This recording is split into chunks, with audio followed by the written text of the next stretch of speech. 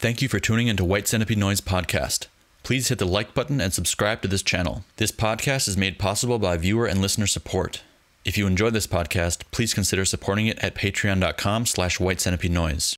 White Centipede Noise is a label and mail order based in Germany, releasing top quality noise on tape, CD, and vinyl. White Centipede Noise is also the premier EU based distributor of international noise. Visit whitecentipedenoise.com to see available label releases and weekly distro updates.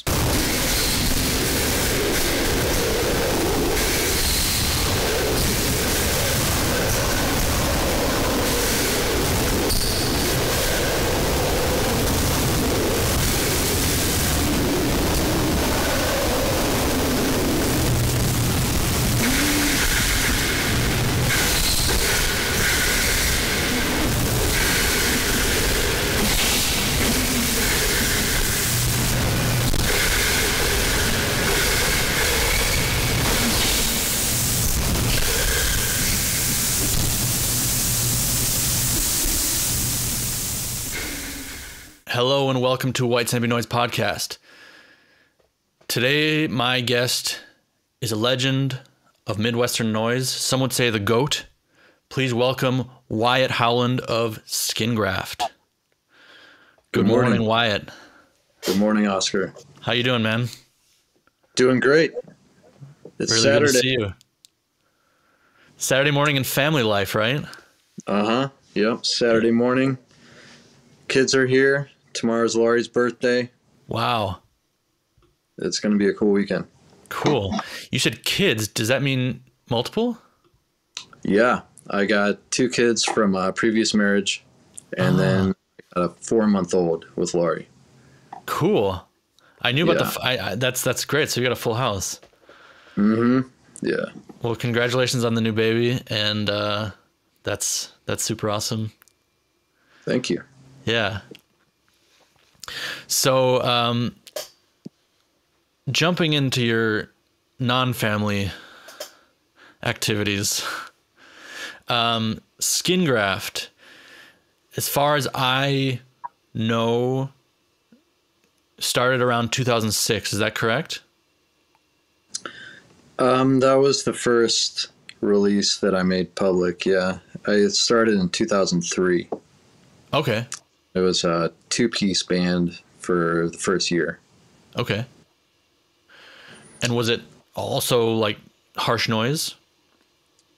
It started off, or uh, it was guitar and drums, hmm more like it was instrumental stuff.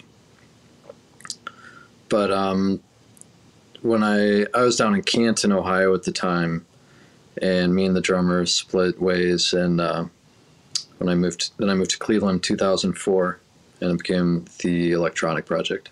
Okay. Cool. And then so that was active like live for a while before recording. Is that how it worked out?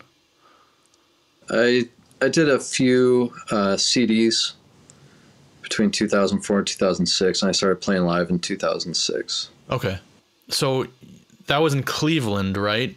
But Yeah, that was also a big time, like the, the mid 2000s, where there was a lot of activity in Michigan and general Midwestern area. What was the what was the Cleveland, Ohio, Michigan connection at that time?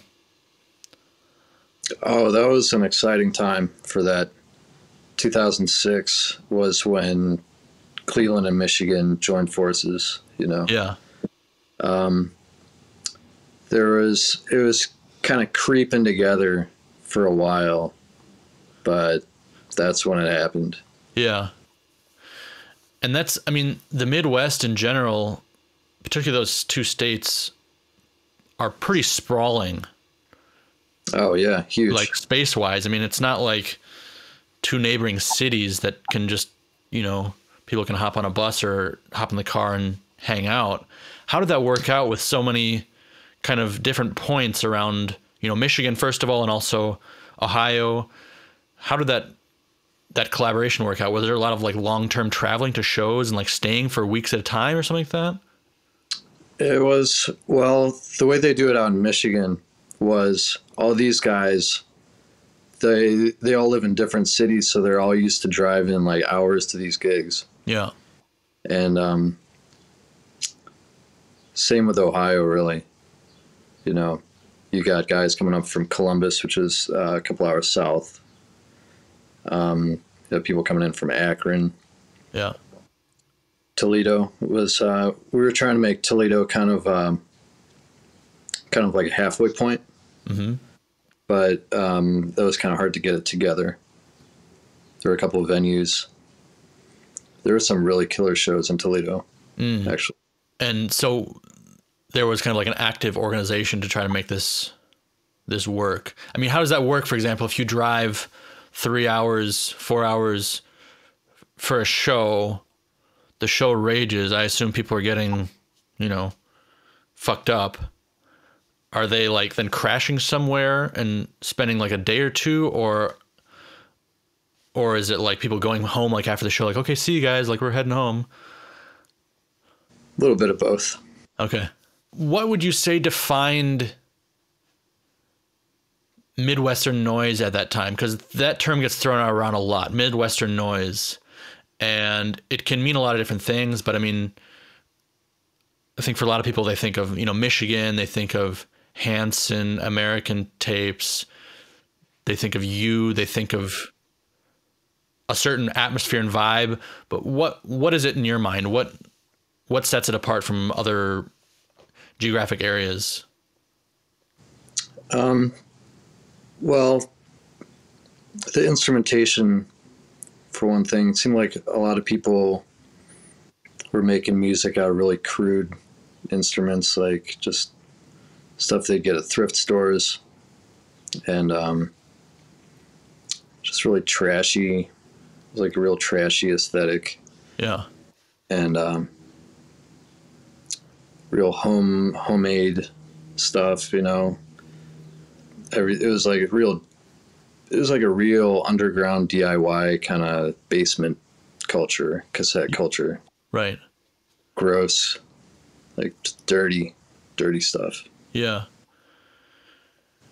What's Cleveland like compared to some other cities we might be familiar with? How would how would it compare to, you know, Columbus or It's it's like it's really industrial here. There are some really gross, uh, st- big, huge steel factories. You know. Mhm. and um, it's pretty poor. Uh, it's real cheap to live here, Mhm. but it's really um, and there's some really beautiful parts. There's a lot. We have this uh, park system that kind of goes through the whole city. That's really killer, but it's surrounded by just really dirty uh, city. Mhm. Are those like are they fairly dangerous to hang out in the parks? Um, I've never had any trouble. Yeah. Okay. This episode of White Centipede Noise Podcast is brought to you by Oxen Records. Now available on Oxen Records. Neural, The Decisive Moment CD. Scum and Unsustainable Social Condition. Necessary Downfall CD. Systemic Sewage and Unsustainable Social Condition. All available weaponry CD. Title still available. Circuit Wound. A Sudden Lapse of Concentration. Scathing. A Capital Beneath the Waves. And Leah P. Surviving the Familiar. Available soon internationally from White Centipede Noise or from the label at oxenrecords.bigcartel.com. A lot of the Midwestern vibe, you know, it, it is it's very diverse, but a lot of it from that Yeah. era is kind of like, you know, you you mentioned this this handmade DIY kind of feel. A lot of it has kind of a more, uh, I don't want to say humorous, but psychedelic, kind of absurdist aesthetic and approach whereas your sound is really really grim and has been basically the entire time i mean maybe a little bit of black humor thrown in there but it's pretty it's pretty serious and, and, and grim in comparison to some of the other typical midwestern noise artists. Why did you take that approach to it and how did how did that relate to your other peers and colleagues and friends at the time? I've always liked really dark uh, art, and you know, I really appreciated just um, cold, dark, like large black structures and textures, and I've always been Mhm. drawn to the um, you know, like big black paintings and dark movies and cold industrial music and stuff. You know, in the scene at that time in in in the the environment was there a lot of destructive behavior going on was there like dark shit going on within within the scene do you think did you feel that way Um, in the scene, I guess yeah. There's always been for pretty gross, destructive behavior, and you know these underground music scenes. It's pretty gnarly. Uh, I'm glad to step away from that. I was Yeah. really glad the uh, pandemic to hit. You know what I mean? was it going up until that time that it kind of the pandemic allowed a kind of a break from it to distance yourself from it For me, yeah. Okay. Cool. Um but you know, you're you're still rocking hard. Like you've still been repping harsh noise and kind of doing your thing pretty consistently throughout this time. I mean, I think you've probably had waves of more and less activity, but you've been pretty you've holding been holding it down pretty pretty consistently. Whereas a lot of other artists from kind of those mid 2000 times have have disappeared from at least the noise scene. Not to say that they've just dropped off, but they've either been doing other things or or people have kind of lost contact with him. Why do you think that is? Why have you had the endurance and the and the and the staying power and, and desire to continue on, whereas other people have seemingly kind of moved on or, or fallen off? Well, it's everything I've been doing is part of the same project, and I feel like it's not done yet. You know, Mm. I've been getting closer, but I there's still a lot more work to do. As for other people, you know, they get families and jobs and stuff that I don't know. I always it's always kind of a drag when I see people dropping off Yeah. because I don't see how anyone could stop. I've tried to stop before Yeah. when I thought that it was like um, I thought that it was part of a destructive pattern, self-destructive pattern doing this stuff. Mm. So I tried stopping for a minute, but um, I can't stop. It's you know it's too good. Yeah. I love it. What is it you're wanting to achieve with Skin Graft? What is the the driving force behind Skin Graft? There's all right. Well, there's an album that I want to make that I haven't made yet. Okay. and but I'm close, you know. Close to finishing it or close to be, like starting it?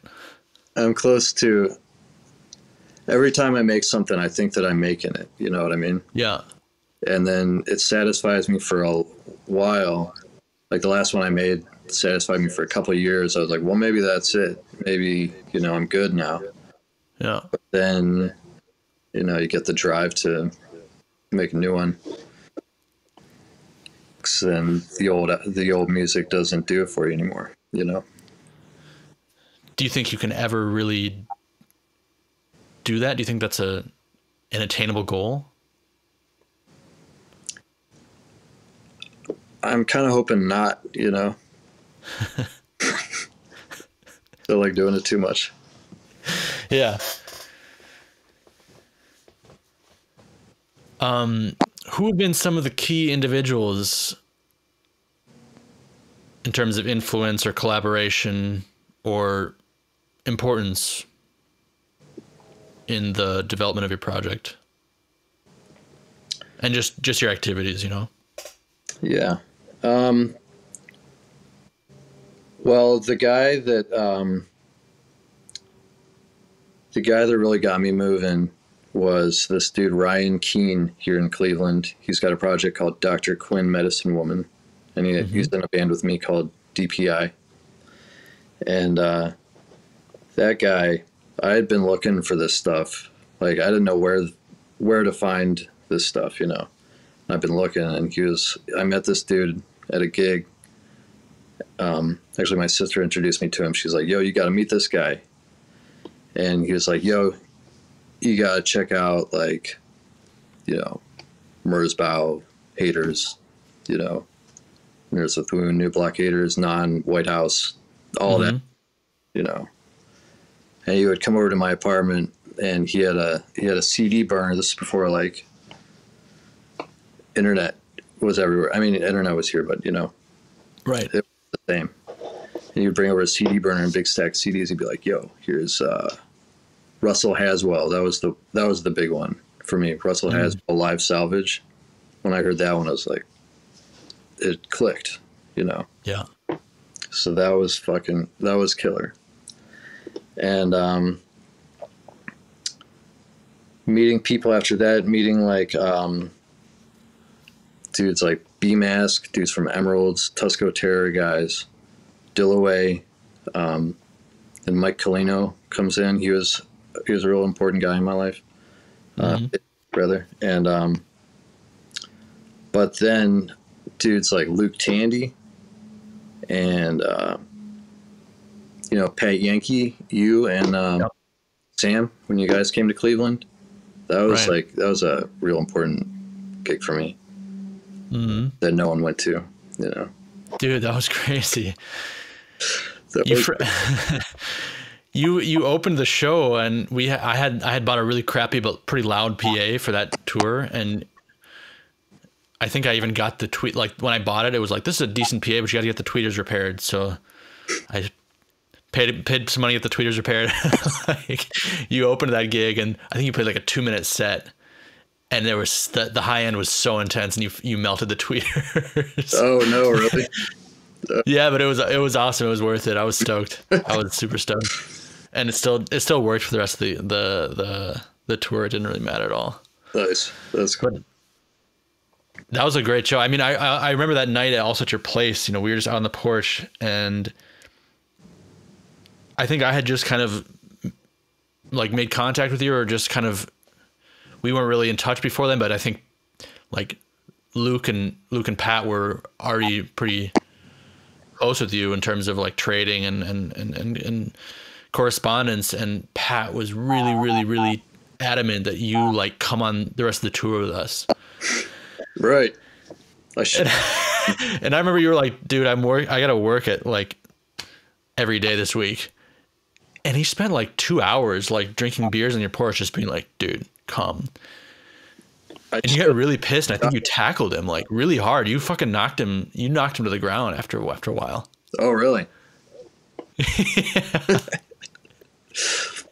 He, he he- he'll remember. Luke remembers it. He was like, he was like, at at some point he was like pissing you off because he just kept kept kept trying to trying to get you to come on tour like tomorrow. Damn. I wish I would have. Yeah, I was working at Pizza Hut. yeah, that's right. I mean, come on. Yeah, but got to pay rent. I guess. Yeah. Um you know, I don't I don't like to dwell on gear too much, and I don't I also don't like to like get people to give their their techniques away. But um, I'm also curious. Can you tell me like maybe what a couple of the key skin graft pieces of gear are? Because you have a very unique sound, but I have a sense that you're not really like a gear buff that's always buying new things and you know tweaking your sound. I feel like you is that accurate? Like you've kind of you've got your setup and it's kind of like your your calling card, right?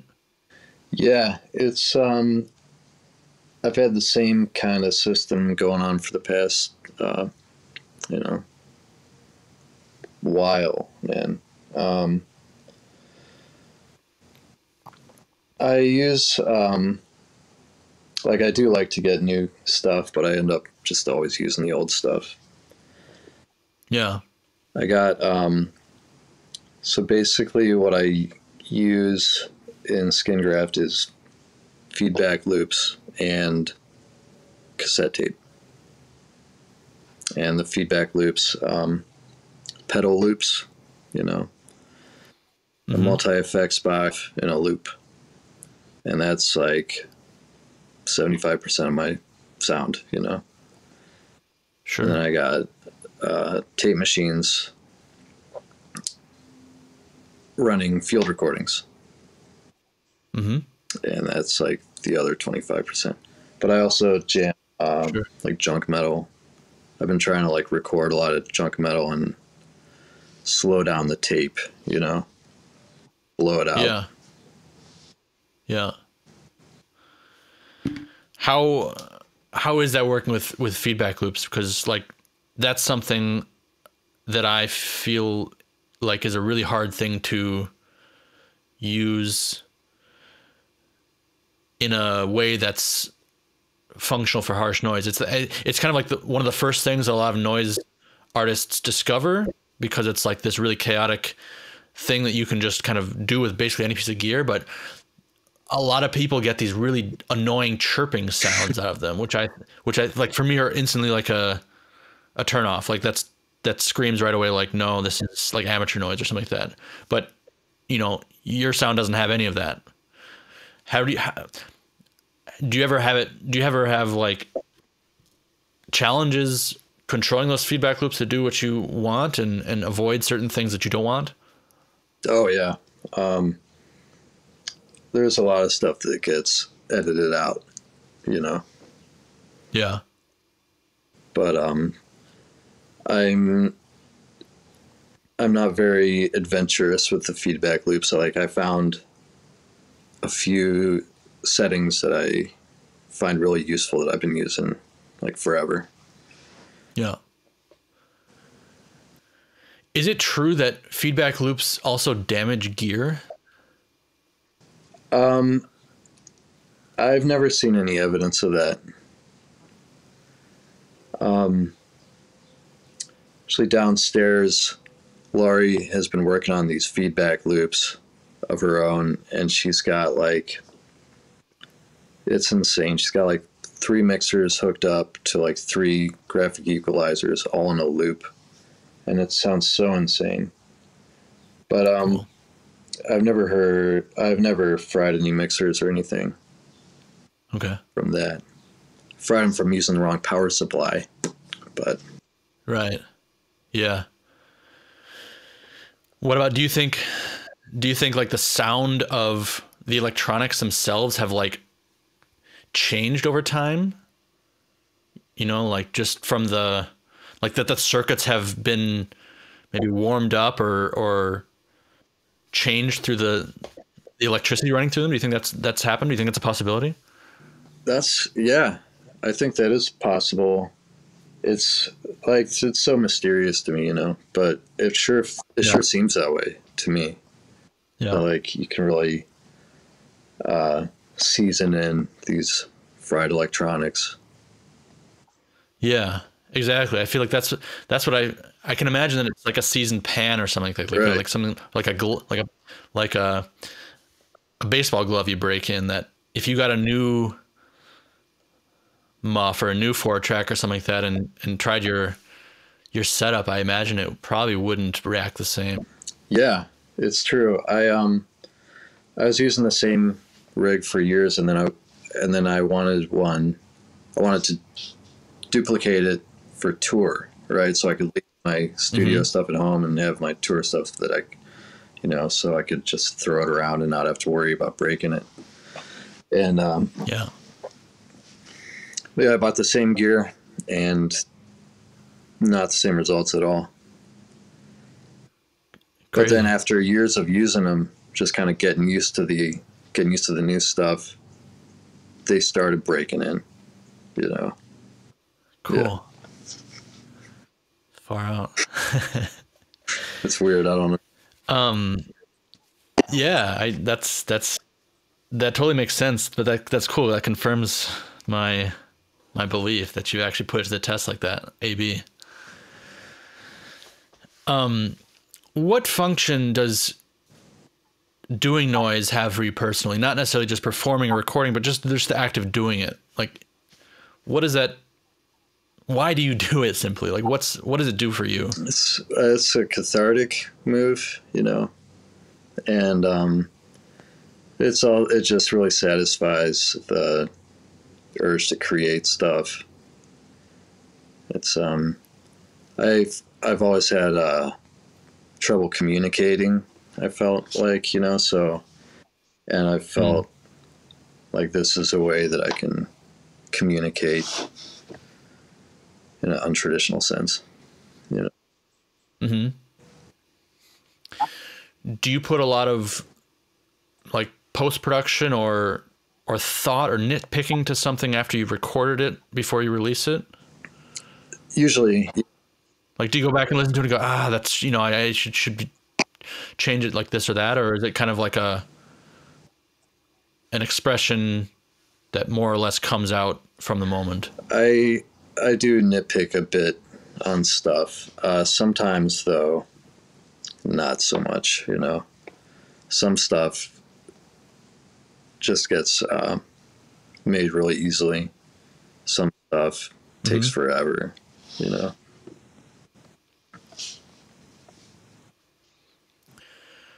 What is more important for you, uh, listening to noise or making it? Um, I suppose listening to it, you know. Yeah. Really? You get more from listening to noise than than making your own. I mean, I you know you got to have both. You know. For sure. Hey everyone, um, just want to let you know about WCN TV. It's basically an in-depth platform for all sorts of various noise content. There's a series called Afterblast where I do follow-up episodes with people who have already been on the show.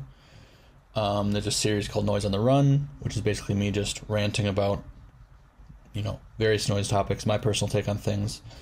Uh, a lot of other things in the works. So check it out.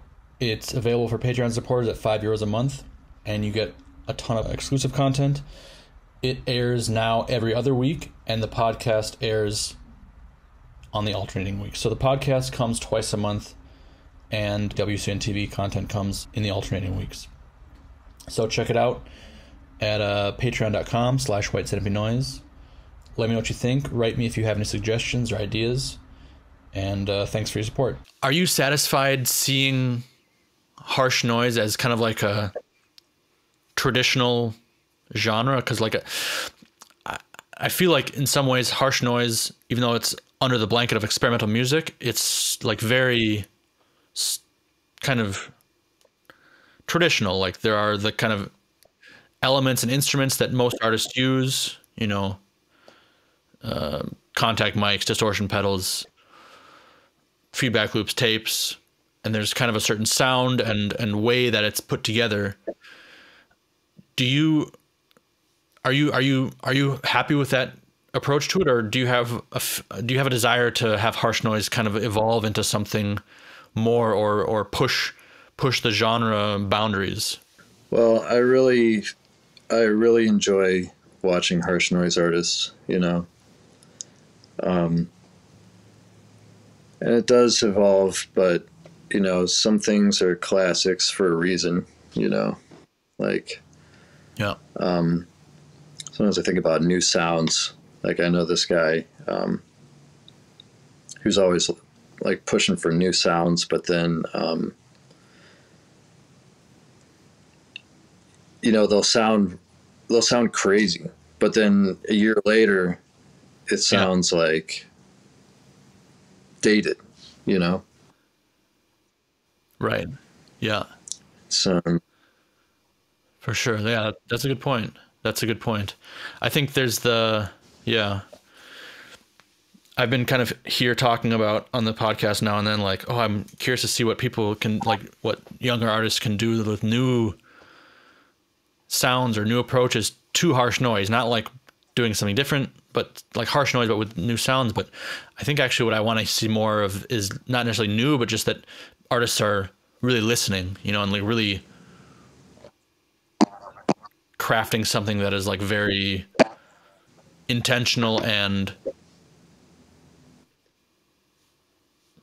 good simply i mean it doesn't have to be new but like you know that people people aren't just going for the traditional sounds that are easy and lazy and that they're not also just going for new sounds that are new and crazy but you know it's i think it's a good point about being dated because that's that's that's a really big issue i think with a lot of i think progressive ideas in general that they don't really have sometimes they don't have merit outside of the fact that they're new yeah, or different exactly you know? Some sounds are just so classic like the sounds of metal you know the sounds of crushing tapes and you know yeah exactly yeah exactly and i feel like i feel like your sound is very very it's very very specific. I mean, it is very classic, but it also has a very identifiable like this is skin graft sound. But, you know, you're using those classic sounds, metal junk, you know, blown out analog distorted shit. What's your what's your um, solo process of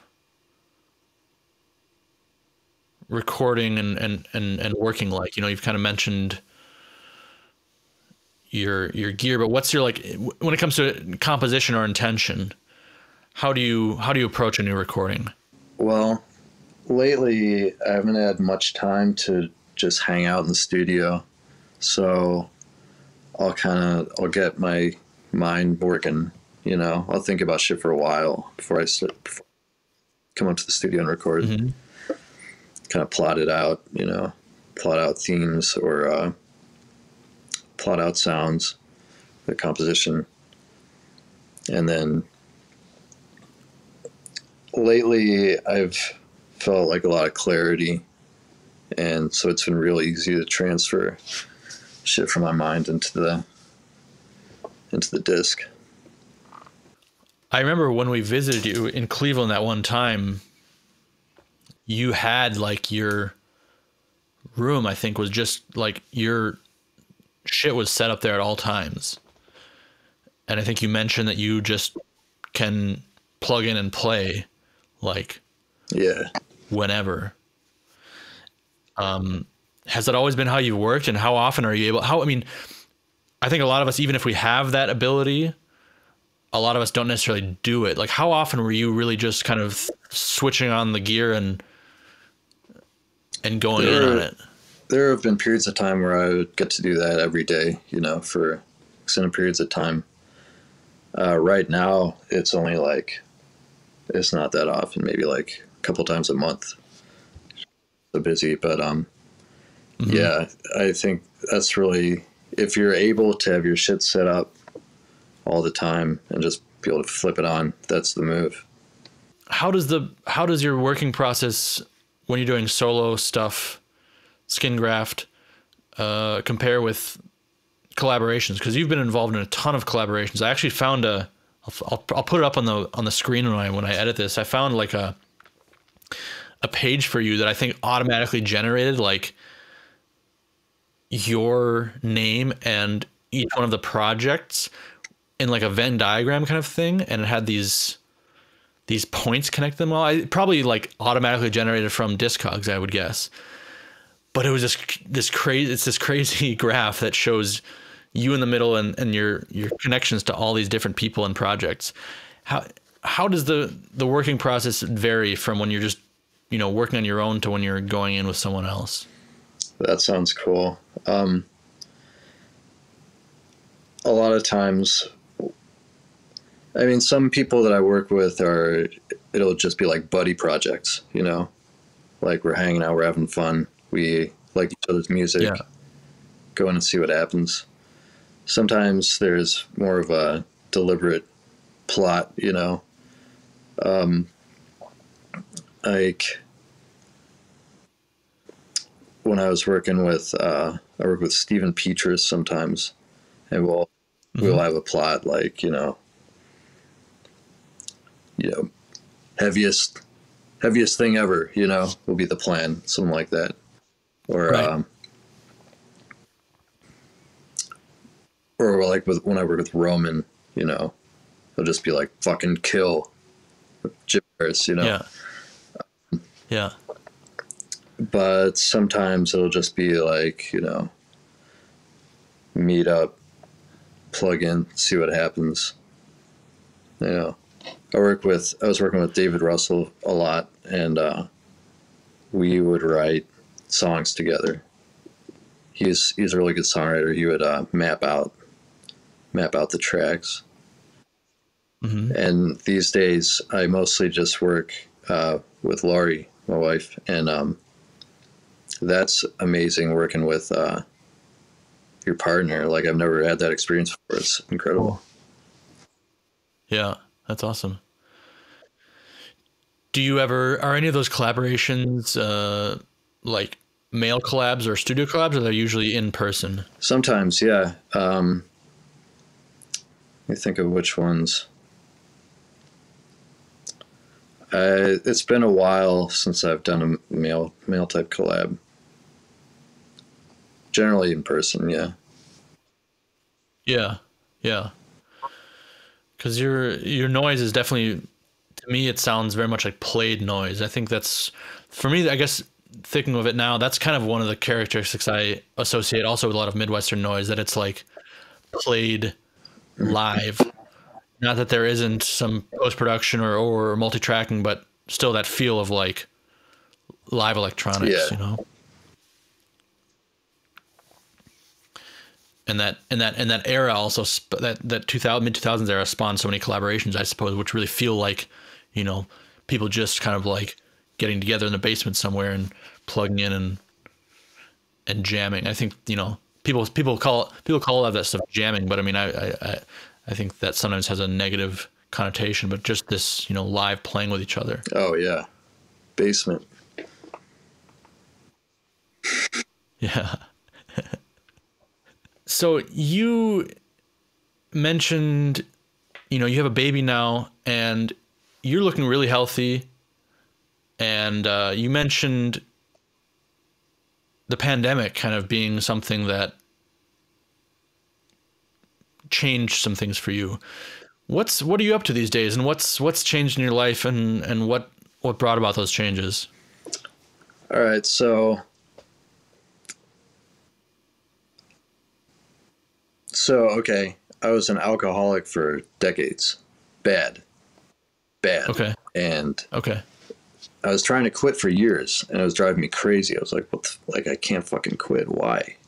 And uh, yeah, I was went going to therapy. I was trying like medicines and stuff, and then I yeah, I mentioned I was married before. My marriage fell apart, um, and then, you know, so I'm on my own. I meet Laurie at a gig um, in Cleveland, and we start hanging out. She's like, she's like, "Yo, I'm you from the future. You know, I was you just a few months ago, and I had a stroke, and now I'm clean, and I'm going to the gym all the time. I don't drink, I don't smoke, none of that shit, and it's good." And I'm like, "All right, like let's team up." Then wow, pandemic hit, music scene is over. So like, because it was the gigs that was dragging me down all the time. You know what I mean? And hanging out in basements with my friends sure, hanging out in, in with basements with like a 30 pack every night. So right. that was incredible. Being being able to dry up, you know, get in shape, get a Yeah. clean mind. And now I got I work at a record factory, right? This place I wanted to work at for years, but I was like, I can I can't work here because I'm a, like I would never be able to get to work on time. So now I got the job I want. I got like I got it going on, I clean, Cool. feeling good, and my noise is better than it was back then because I got clarity. That's cool. wow. And thanks, thanks pandemic yeah, for man. you know shutting down the fucking bars, and you know, and keep away from my friends who are yeah. like I love them. They're great guys, but I mean, I was the one dragging me down. But you know, hanging out with them wasn't helping. You know. Right. Yeah. That's that's amazing. Do you do you feel like now that things are opening back up again, you're ready to kind of reapproach the the scene on new on new terms? Yeah, absolutely. Uh, now that I'm feeling better, I mean, uh, like we played a few gigs last year, you know, and coming back clean was like super cool. Yeah. Right. Can't really do much because because we got baby, but Yeah. we are playing a gig in Richmond next in two weeks. That would be cool. This place called Crystal Palace. It's their last. It's their like going away show. They're moving out, so Okay. that would be cool playing a gig. Cool. Well, congratulations, man. You look really actually really healthy and really good. I wasn't sure what was the case, but I mean, I saw pictures of you like recently, I guess on Instagram or something like that. After not seeing you for a while, I mean, we've saw, we met each other in person many many years ago, but like haven't really Yeah. seen each other face to face in a long long time and I was like, "Damn, dude's like looking really looking really sharp." Like Thank you. so that's congratulations. I mean, that's that's a good thing all around, and you know, the family, the baby, the the you know the love, the the whole thing. That's that's a sounds like a good package. And I do, yeah, and I and, I, and I'm really happy to hear that you're still rocking with skin graft because I think that's a I think that's a misconception that some people have that you know music or art uh, is somehow you know improved by addiction or or negative headspace or you know negative events in life i think it's definitely not true i think that was that's- definitely a misconception of mine for years. I was like, I can't, like, I can't jam without this shit. But right. Yeah. Cool. Kick ass. Um so i'm i i actually wanted to do a a, a series and maybe i'll do it in the future of like talking to noise guys who have kids because i think this is a really interesting phenomenon combination. And i a lot of my er, earlier guests in the podcast all had or were all dads and i didn't really bring it up like you know like Ilka from from Hare, uh, Tommy, Eric Newstrand from VMS Elite is now a dad, and, and so forth and so on. Um, but so I'm curious about how, like, I suppose you're. Do you do you, do you jam noise and, and play noise around your your your child? yeah, oh yeah, Well, I mean, uh, you're multiple children. I you know you've you've you've. I'm curious what what what kind of effect do you think that has? Because everyone pretty much discovers noise at some point later in their life as kind of a reaction to. I mean, it usually starts out as kind of like a punk rock subversive reaction to like, oh, like this is this is like anti music, and then you know usually you realize it isn't anti music; it's actually music, and that's what you know fuels the the love for it. But it kind of starts as this kind of rebellion almost from you know what we've been taught of as music. But what what do you think that's going to be like for a child to grow up with that as like no this is music? Like how, how do how do how do they react to it? Like are your are your other kids a bit older now? Uh huh, yeah, twelve and six, okay. And they've what's their what's their take on it? Um, my younger one loves it. You know, six year old loves it. Twelve year old, yeah you know, I've been playing it for her her whole life, and um, like she's she's used to it. She respects it. You know, she hears it as Yeah. music. You know, it's it's Yeah. like not what she likes to jam herself. You know, but um, yeah but like when she hears it, she recognizes it as as music, and you know, it's cool. That's very cool. Yeah. I sup- but I, I, I suppose that's like going to be like the first generation of people that are going to eventually grow up and you know be adults and be like, oh, my dad was a noise artist. You know, my my parent, my my mom was a noise artist. I grew up listening to noise. Right. You know, in, in we're approaching that that that time where I mean, a lot of the older the OGs, so to speak, that are maybe in their fifties or whatever now, already have children that are approaching that age. But I think in the coming years beyond this, I think there'll be even more people that grew up with this this context. I'm curious to see if those will, if you know, those kids will grow into noise artists, or if they'll just reject it and be like, "This is stupid. This is what my parents liked," you know. right. Right. oh yeah. Like, oh, I hate my parents. I'm gonna jam some. Uh, you know. Right.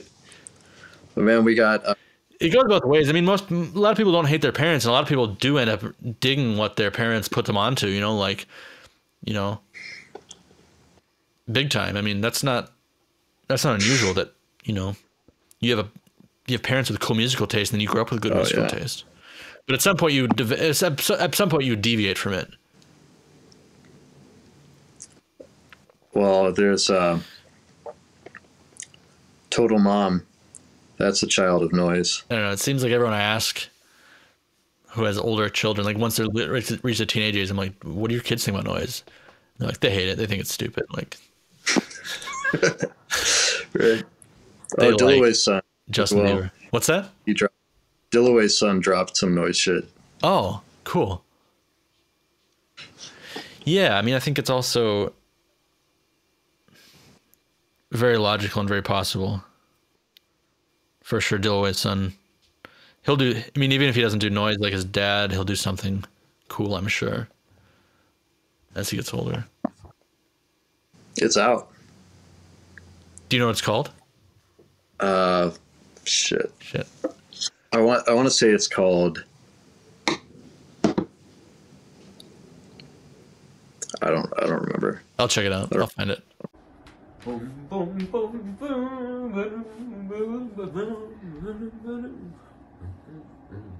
Hey, what's this? The Rita Lake Depth Lurker Machine?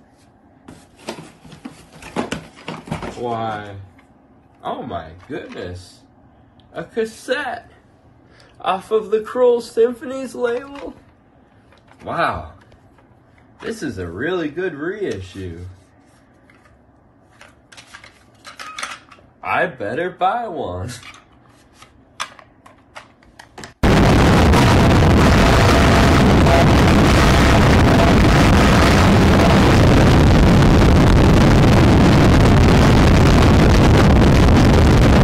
I have a question from Jim. Jim Harris. Oh shit, Jim. What's up? He uh, wanted me to ask you murder. Nice. That's what I'm saying, brother.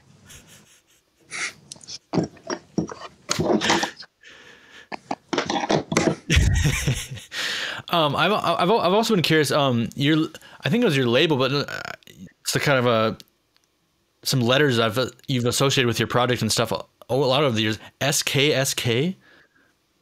Uh. How do you pronounce that? What is that exactly? Like, what is that? Um, Is that just an abbreviation for skin graft? It was. It was. It was short for skin graft. It was. Um, I was in this band with my sister called SKSK or SKKSKK for uh-huh. like a very short amount of time. Okay. And um, there were there was like another oh i wanted something that kind of sounded like dostoevsky right? Uh-huh. I just read uh, this dostoevsky book. I wanted something uh-huh. kind of sounded like that. Just the word the pronunciation? Yeah. Cool. And how did you how did you pronounce sksk yeah. Okay. You've been, you know, very busy lately and presumably less. Did you say you got a job at a at a record factory, like a like a vinyl pressing factory in Cleveland? Mm-hmm. What do you do there? I mold the plastic, I press the records. It's cool. It's fun. I've been training there. Like I was working in shipping with my brother-in-law Mitch Cool. for about a year, and that was cool. Being you know, being the last guy with the records, shipping them out, Yeah. and then four months ago I switched to the to the presses, Cool. and that's been these machines. They're they're made in the fifties. yeah. they've been they've been squishing record like squishing records 24 hours a day since the 50s. Wow. so they're like ancient and they're like rickety I bet. they're rickety they're spitting oil everywhere it's wild it's Damn. super cool and there's this uh, there's this division called wax mage there at the factory and they make these just crazy looking records it's cool it's i really enjoy it Is that a plant that does uh, like smaller DIY pressings, or is it more for like larger? We do both. Mostly we do mostly we do small stuff. Yeah. Mhm. It's cool. We did like last year we did like Cocky SP. We Cool. did Death Rose. We Yeah. did uh Bukowski. We did uh Hive Mind, you know. Cool. There's cool stuff. Are they? I mean, are you guys having a big crisis or delay with like vinyl production right now, or with with with the materials? I know things are getting hairy everywhere, and I mean, I keep seeing, you know, there keep being kind of warnings that oh, like this material is no longer available, and prices are gonna skyrocket, and and there have been like some really big delays, like for example with vinyl. Um, but on the other hand, I feel like things have actually been pretty normal, and I don't know, like like like Taylor Geddes from uh, Absurd Exposition got hit. He did like a like this Merzbow record recently, and it like was super fast, whereas everyone else is waiting like twelve months. Like, what's what's going on there from your insider's perspective? If you have any, Yeah. Well, for one thing, the world is running out of nickel, which is Mm. going to cause problems in theory, you know, because the, the stampers are made out of nickel. And they've tried making them out of different materials, but apparently nothing sounds the same. okay, So that that's a potential problem, but um, a lot of a lot of the delays that plants have is because of uh, record store day. You know, right, record store day is like gumming up the works, so they say. yeah, Also, there's only so many uh, machines in the world, and they're not really making yeah, they're not really making new ones. So at where I work, it's about a 12 month wait for now. However, that's going to change soon because we're getting more people in, and uh, we're our team's growing, so things will be moving at a faster rate. yeah. Do you think there ever is talk of starting to build new machines and modernize them, or is it just kind of like indefinitely work with the the old shit and keep it keep it up to speed? They, there is. I have heard talk of new machines. There's actually a plant. Uh, you might have heard of this Kunaki, right? This place you can order you can order a record at a time and they'll ship them within 24 hours. But it's like What? thirty dollars. Yeah, it's this machine out in California. You can order. I've never heard of it. Is it is, is a lathe is it a lathe cutting machine? I don't know what it is. I don't know what's. It must be a lathe. It must, you know, it must be. Yeah, that's mu- It must be cutting it in real time like a lathe. It's got. Probably not the same process. on the website it's like this is a professional quality record like in shrink wrap and like the jacket art and shit like ships within 24 hours Yeah. i don't know what's up with it Okay. Crazy. That's We should- interesting to look into. But uh, yeah, I mean, I know there are some good ones. I mean, there's like a good one in Berlin that I've, you know, but they do. It's a different process. They don't. They don't do the. They don't press it like with a with a stamper to vinyl. They're they're literally using a machine that cuts it onto the the disc, and then that go, that's what goes out. So it's like what Grant Richardson does with his. You know, he has a lathe machine too. He has like a little label doing lathes, but it's just insanely time consuming because you can't mass produce them. You have to like it's like dubbing tapes, but with like with a record Right. and a ton more factors to you know dial in to make it sound right. So Grant's still doing that. That's cool. Uh, I guess he is. I mean, yeah, he got that machine, and like I said, when I mean, like he told me when he got it, like the guy who gave it to him was like, "Don't let anyone you anyone know you have this because everyone is going to want you to make lathes, and it's like Right. super super time consuming and never worth it." Right. So he did his label for a little while, and I think he's kind of back. Last time I talked to him, you know, we talked on the podcast. He said he's he's uh, kind of trying to get it up and running again, take a more like more focused approach to doing it. But yeah, he does. He he has it for sure. It's it's sick. That's killer. But yeah, that's awesome. You have a, that's a privileged position to be in, like working in a vinyl factory, like as a as a dude in like underground DIY music, to actually be able to,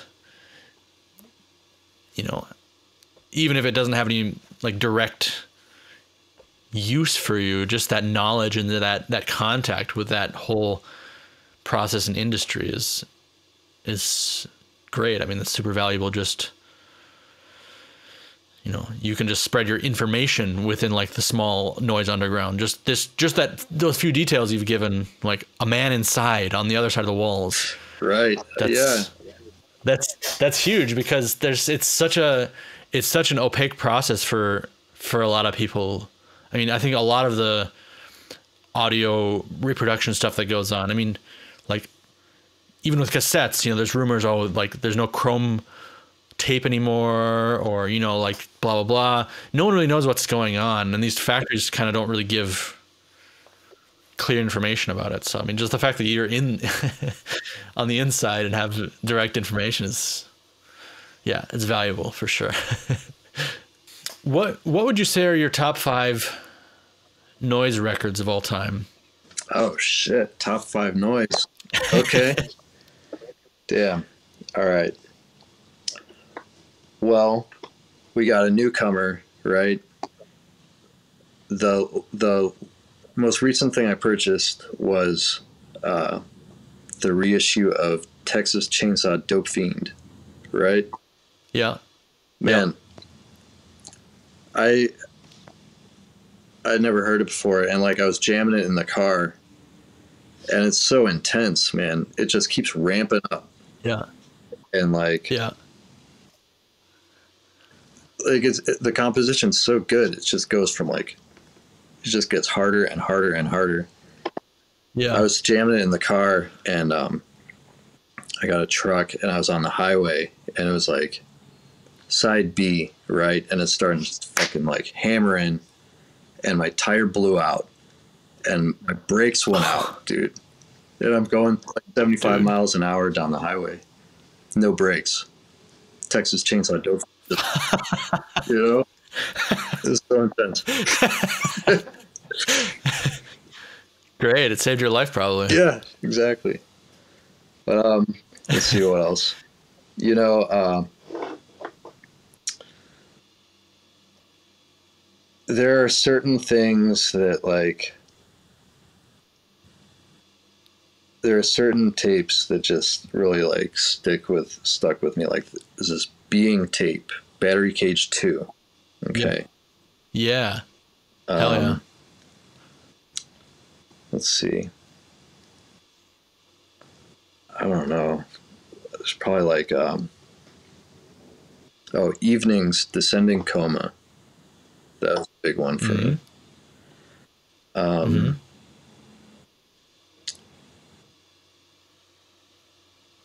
Knives seven inch. Gorgeous and uh Yep. cherry point. Um Yep. Hell yeah. Venereology. Okay. Merzbow venereology. Yep. Um, Thurida. Uh, fuck. Bodies bear traces of carnal violence. Yeah. Mania. Ultra negative. Right. I know that's more than five, but I think it's six now, but that's all right. something like I'm not, I'm not gonna stop. I'm not gonna slow you down. Um, Dude, probably. Oh. Fuck, what's it called? Dog Lady, Folk of the Old Flood, and Loud Doom. That album. Cool. Probably something by Plague Mother, you know? Mm-hmm. Paranoid Time, Pinched Sack. Uh huh. Yeah. Stuff like that. Dude, it's it, like anything on Troniks, Yeah. you know? Anything on Troniks, back wreck. Yeah. That is essential stuff. Truly. Okay, so that's ten. So that's ten. So we'll. I think it's we'll cut it off there. Um, can you tell me five things of the past? I mean, I don't know how much new noise you're buying and listening to, but can you tell me five things of the past year or two, kind of that that you're really really into that aren't reissues? Dude, to be quite honest with you, like I wish that I knew what the fuck was going on in the world. Yeah. I've have my head up my I I live under a rock, you could say, right? Sure. But like so in my house, I we we each have recording studios Yeah. and I'll hang out while Laurie's recording her shit and like I listen to her noise live Yeah. through the speakers and it's just that shit is so good. Cool. So like her shit Yohimbe, shit. right? You pronounce it's it's it's Yohimbe, yeah. Yo, it's pronounced Yohimbe. uh-huh. Okay, cool. So Yohimbe is number one. She's number one. Yeah. and uh, and me. Yeah. So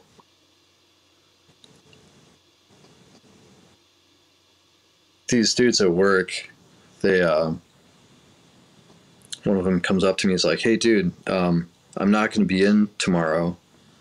I'm going to a noise gig," and I'm like, "Oh no shit! What are you going? What are you going to go see?" And he tells me some band I'd never heard of, and uh, I'm like, "Right on."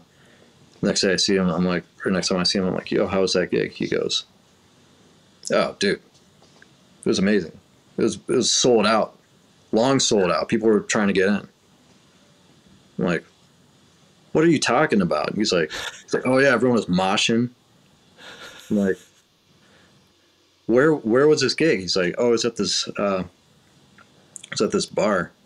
I'm like, that wasn't a noise gig, man. And then this this other dude that was there, he's like, "Oh no, Wyatt, you don't understand. That was a harsh noise gig." I'm like, "There's no, there's no way that your noise gig was sold out. There's no way that you're that people were moshing at your noise gig. You know what I'm saying? Yeah. That wasn't a noise gig. Yeah. But so maybe that's what's going on past couple years. I have no idea. But okay, so you, you didn't find out. you didn't find out who it was? I did find out who it was, but I, I don't know who the hell it is. But they called it harsh noise. Yeah. Are they aware of who you are, or are you just Wyatt? No, they don't know who I am. They, uh, I was like, oh, I make noise. In fact, they're like, oh, um, Whatever. they're like, oh, you make like experimental music. I was like, bye, brother. Uh, you know, goodbye. Fuck, dude. They're disrespecting their OGs. They're like, and you're you're trying to get the drop on like where the noise gigs are from the young kids. They're like, oh, shit. Well, that's what I want to know about. I mean, I mean, that's what I want to know about for real. Like, I really am curious about what that is. I bet it's like death grips or something like that. And you you got to let them know. You got to. I mean, well, I don't know. I guess that's kind of kids are kids are dicks. I mean, if if like you try to be like, hey, what's up, young bulls? I'm Some call me the goat of harsh noise. Like, I've been doing this since 2006. They might be like, yeah, right, whatever. That's fucking lame, dude. Like, grandpa. Jesus. That's crazy though. But I mean, they, I, like I said, I mean, they that must be like maybe it's like Ghostemane or whatever, like some distorted rap or something like that. You know, I don't know. Right. I I want to know. Yeah, you find out seriously. Find out. That's that would be great to great to know. There's some sold out noise shows that we don't know anything about. That's so weird. So mysterious. I'll figure it out. I'll let you know. I'll keep you updated. Yeah, cool. Cool, man. Well, um, what do you have going on, like new or, or coming up? I know you're very, very busy. You know, you got family stuff to focus on, and you mentioned, you know, you have a an album coming out very soon on White Centipede Noise, which I'm very grateful that we worked together on that. Um, but what's what's going on beyond that? What do you what do you have planned, and what's what's the plan for making the unattainable skin graft album? The pl- it's in. It's happening. The next one's happening. I got uh, after I finished yours. Um, like whenever I finish something, it's it's always such a relief, you know. Yeah, Like oh, now I can make something. Now I can make a new album, you know. yeah, that This music's done. yeah. So I've got a few tracks recorded now that sound really good to my ears. And I'm gonna see what happens with that. Cool. All right. But- Stoked to get that White Centipede CD out. Yeah, hopefully, maybe by the time this airs, it'll be at least on the way. So That's killer. check that out. badass Final Judgment. Badass what? Oh yeah, Patch. Badass batch of CDs. Batch. Yeah, yeah, that'll be a good batch for sure. I'm mhm. excited about that for sure. That's a Yeah. that came together. That's coming together really nice. Heavy. Okay, cool. Yeah. All right, man. Well, give my best to your family. Enjoy your weekend. Thank you. You too. Thanks a ton for taking the time to talk with me. It was good to good to see you and good to hear you're doing really well. Take care. See ya. Thanks again for tuning into White Centipede Noise Podcast. Head over to the Patreon for more, including private episodes of Noise on the Run, exclusive photos, video, and audio related to the show, and discounts at the White Centipede Noise mail order. Your support is extremely appreciated and vital to keep the show going.